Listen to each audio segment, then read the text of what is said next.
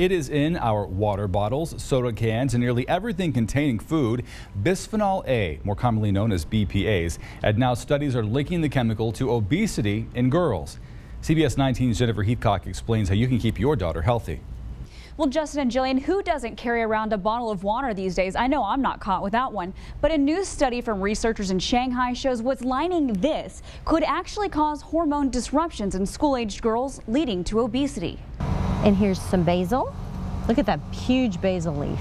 Leslie Harrison tries to keep her family, including nine-year-old Tabitha, healthy. We do lots and lots of cooking, and even their school lunches, we make and take our own lunches because that way we know what's in the food. She eliminates added sugars, high fructose corn syrup, hormones, and chemicals where she can. Here like the glass containers that I use. That includes plastics that most people use every day. And so these are BPA free.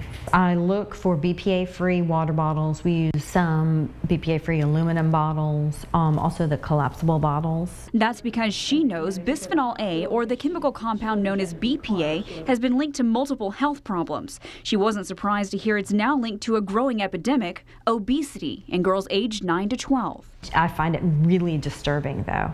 From what we know, BPA may affect the endocrine system or the hormone system of the body to counteract some things in our body that help our metabolism go faster, um, but we're really not sure. Dr. Bryan Lowery says he treats children with high blood pressure and cholesterol often at Trinity Clinic, stemming from obesity. The lining of it, and if you put it in the heat or cold, or we're not sure how that BPA gets out, but there's very, very minimal BPA in it, but there's BPA everywhere. He was surprised to hear what the study showed about the effects on school aged girls, but says the hormonal changes as they go through puberty may have something to do with it. BPAs can be found virtually everywhere water bottles, food cans, and drink cans, even receipts.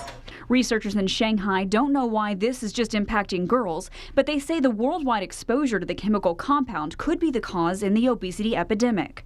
Numbers have doubled since 1980. Now 1.4 billion adults and 40 million children are estimated to be overweight. We have to be careful about what we're putting in our bodies um, and try to do as natural as you can as far as food, cooking, fresh food, fresh vegetables, um, drink water from a glass. Ways to keep BPAs away from your kids.